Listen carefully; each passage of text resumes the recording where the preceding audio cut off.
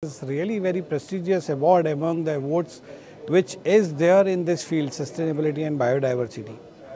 I'm again thankful to the CII ITC and uh, the people who came over there as an assessor, they are really having very very, very deep knowledge and depth knowledge about this. Still we need to do uh, work up on this process which is giving as a feedback.